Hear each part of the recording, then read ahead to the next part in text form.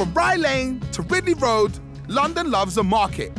And beyond the fruit and veg, flowers, and waving queens, you'll find some of the city's most exciting flavours. So I'm taking Patrice to meet my market mum. Carol's been serving up her Malay cuisine on the roads for time.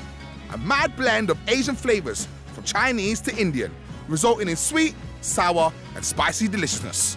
It's seriously serious. Carol, this is Patrice. Patrice. Patrice, nice to meet you. Carol. All right, Carol, you know what I want. Yes. Let me get my chicken usual teriyaki, ho fun noodles. Yep. chicken, You know that he's, he's eating here every day.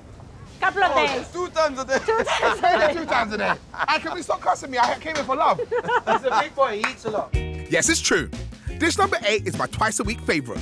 The sweetest teriyaki sauce smothered over chicken, then piled on a bed of ho fun noodles. Mm. For you, give him a CKT. Give him a CKT prawns or crispy duck or chicken. Uh, prawns. prawns, yeah, prawns. Oh, that's crazy, man.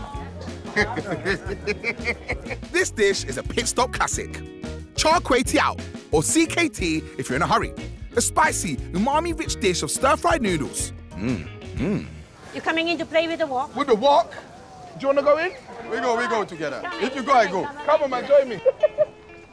Wow. Why I feel like I'm in a sauna here? I got Okay. this. Toss it. Oh, ah, it's getting a little bit messy. Hey, hey, hot lad. Oh, there we go. I got this. Easy, bro. Okay, Easy. leave it to settle down. Let some wok taste. Okay, we yeah? let them like That's calm it. down. Bloody. See, I don't know how they're surviving there. They're crazy, man. I love this guy. We love this guy. That's what I'm talking about. Chicken teriyaki, Clarice. already? yes, it's all ready. There we go. Who's that? Is that for me? That's for you.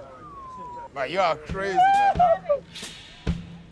And then a sesame toast to finish off, yeah? There we go. Merci. Thank you. Are you ready to taste? Now let me test it.